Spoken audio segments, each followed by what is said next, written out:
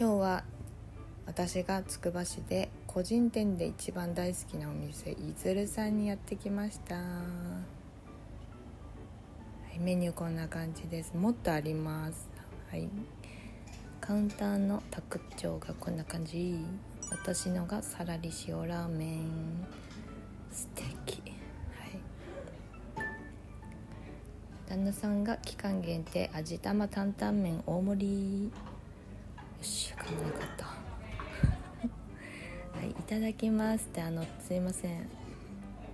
取り忘れてもう食べ始まっちゃってるんですけどね。はい。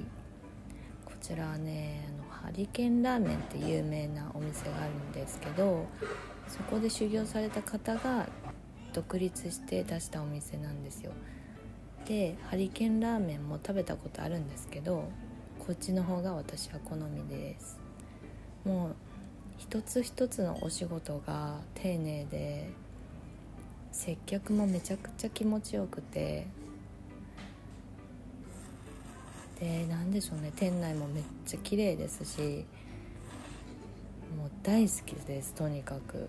もうお客さんがどんどん増えちゃってるのであの平日もお昼時に行っちゃうとサラリーマンの方がめっちゃいるんでそうお昼を避けて行ってください。なるべく。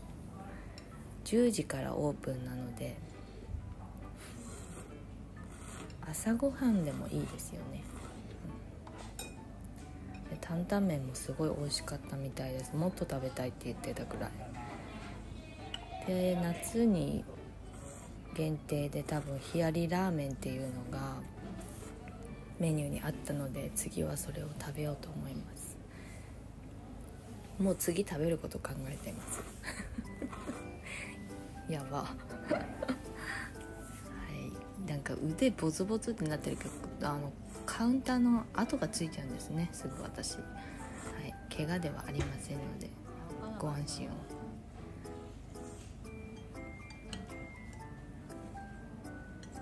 はい、ご視聴ありがとうございました。